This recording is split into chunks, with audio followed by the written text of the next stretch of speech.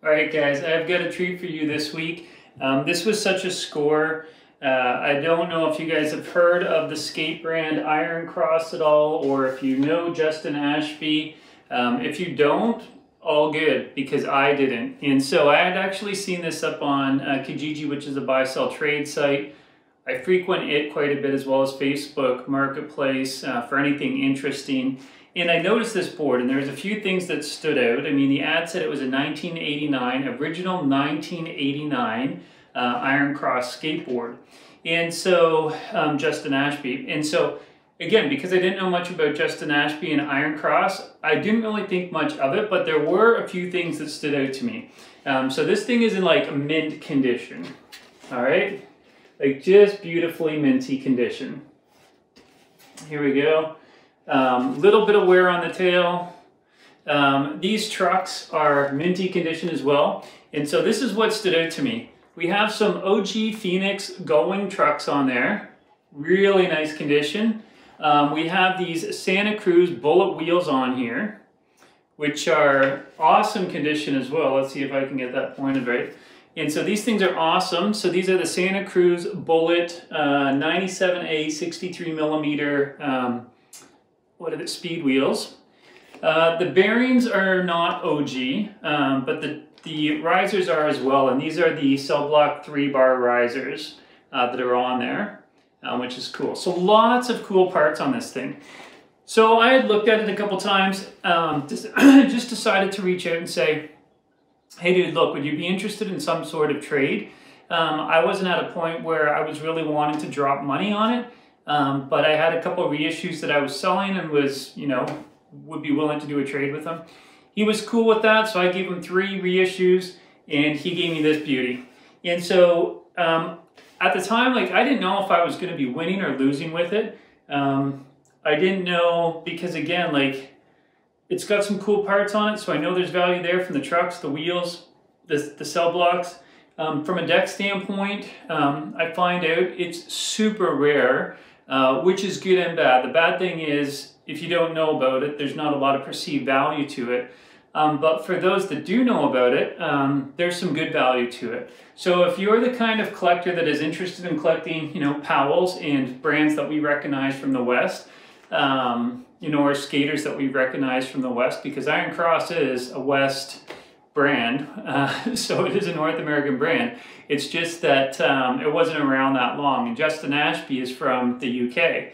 And so, uh, if, yeah, but if you're, you know, interested in more collecting the Vision, uh, Sims, uh, Schmitt Stick, whatever, Santa Cruz, um, then this might not be the board for you. If you're interested in skate history and if you're interested in really rare decks, um, then this is right up your alley because this thing is so super rare. So Iron Cross, let me just give you a little bit of history here.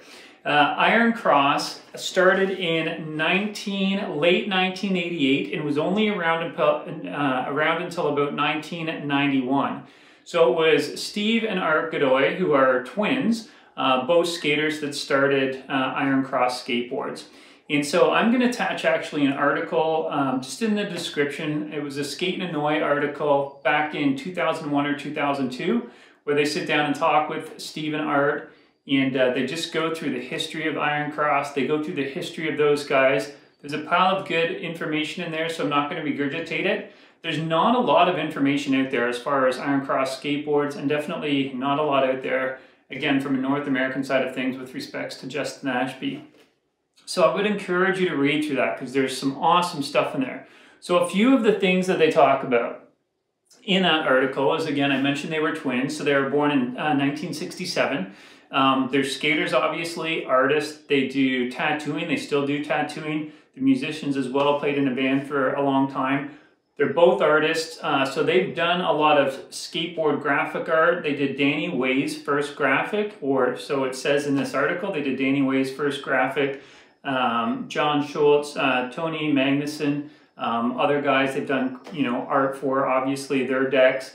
Um, it was actually Justin Ashby. This this pig graphic here, it's Justin Ashby that did this graphic, um, which is really rad, and we'll get into that in a bit. Um, but just a little bit more here on Steve and Art. Um, so they've obviously skated for other brands as well. Um, Art was skating for Zorlac and then Tracker Trucks and, and Tracker Decks. Uh, Steve at one point, excuse me, Steve at one point skated for Powell. Um, then he was skating for Tracker Trucks and Decks as well. And then in 86, they both went pro and they were skating for Kryptonics. Uh, and then uh, later in 86, so they left Kryptonics and went over to Skull Skates. Um, and they stayed with Skull Skates until around 1988. 1988, uh, Art started skating for H Street, so that relationship's important. And Steve started skating with Circle A. Well, later on in 1988, as I mentioned earlier, um, Iron Cross here was around from 1988 to 1991-ish. That's kind of the time frame. So late 88 to 91. And so um, while they were skating for H Street later in 88, they decided to um, start Iron Cross. And so they had reached out at that point, had a conversation with Tony Magnusson and Mike Ternasky, who were the owners um, of H Street. And so H Street was involved from the standpoint of helping with funding, production, and distribution. And so this deck, as far as quality, is very similar to what the H Street decks were. Uh, it's a seven ply uh, maple. It's a really, it's it's a wicked deck. It really is. Uh, such a cool concave too. I'll give you guys a look at that there. But um, they actually call this, if, I don't know if you've seen that yet down there, but the Hell Concave. Um, and the tail on this thing is just so crazy. It's like they just took the wood and bent it up. Uh, it's so aggressive. It's awesome. Um, but such a sick sick deck. Very late 80s, you know, styling. Um, but yeah, love this. So yeah, so um, H Street again was involved from a funding standpoint. They were involved with um, production and distribution. And so that's essentially Iron Cross. Go into that article, read more about it, they'll talk more about it. Who is Justin Ashby?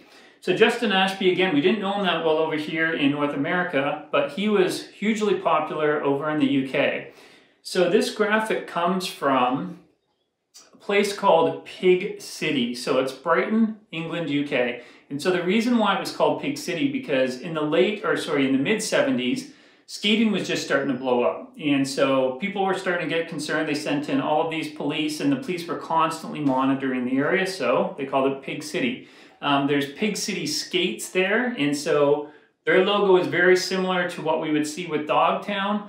Um, and also, I think the mentality was just very similar.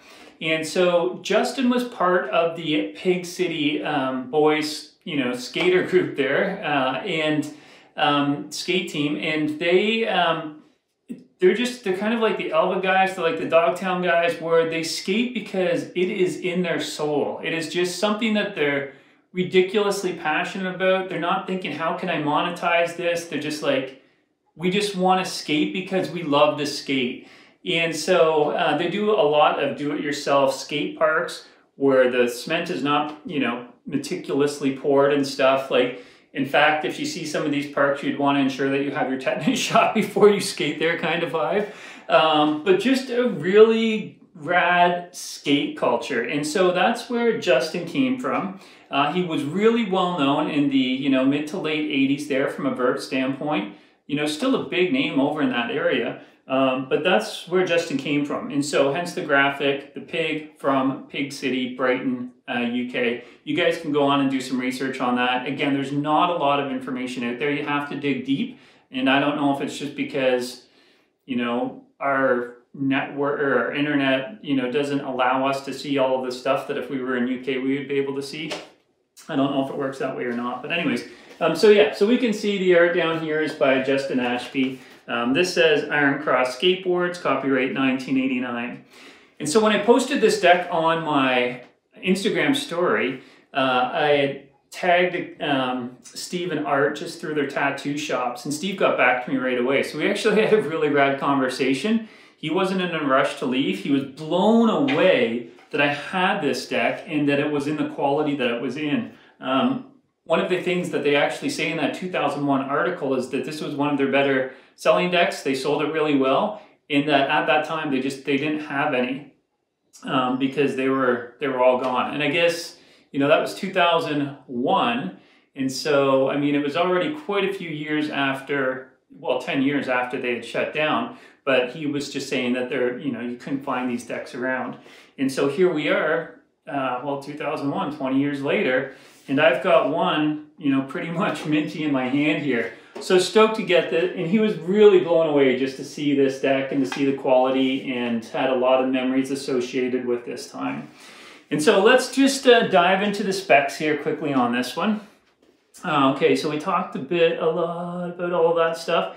And so guys, obviously this is an old deck. I can't just go on. I tried to find calendars, I tried to find, or catalogs, tried to find ads, couldn't find anything for this deck. And so I took some of my own measurements here. They're not gonna be perfect. I'm just kind of rounding to the nearest 0.25.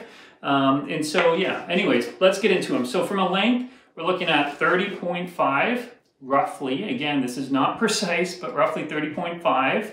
Um, the width is about 10.25. Uh, the nose is approximately 4 inches, and the tail is 6.5 inches. We have a wheelbase, so in between the trucks here, of 15 inches, and obviously with it being an OG deck, I'll pull up my riser for kicks and giggles. I think that's the right way. What does it matter? Anyways, we can see it's the old school hole pattern. All right, and so the graphic on here as well as screened, and so that old school process where they're actually putting the paint right onto the deck. Uh, if you guys noticed here too, there are a couple holes in the deck, and so he did have, the owner did have rails, so he bought this board in 89 in Brampton, Ontario, rolled it like for two seconds, and just for whatever reason didn't like the feel of it. Um, so he stored it, and then he had it around, pulled the rails off it, and had it mounted on his wall. And so these are one, two, three, four. So it's the old school hole pattern from a rail standpoint. Um, because the newer ones, if you look at the um, Powell rib bones and stuff, they all have five holes. That's probably to help so they don't rip off as quickly. They feel if you have five, they're just better, uh, a little bit stronger in there. And so I do, in fact, have some Nosh uh, Schmitt stick uh, rails here in black and white. Now the black ones though, the hole pattern is just slightly different, but these white ones fit perfect. So if I wanted to, I could throw them on. I would prefer the black ones, but again, I don't want to re-drill extra holes in here. So I'll probably leave it as is. I actually like seeing the full graphic. Who knows? Anyways, guys, again, there you have it. I'm just so stoked on this. Um, Iron Cross skateboard. Justin Ashby, 1989. OG goodness with some OG Santa Cruz, uh, bullets, speed wheels, 97A, 63 mils, OG Gullwing Phoenix trucks, and the OG cell block three bar risers. Doesn't get much better. All right, peace out guys. Cheers.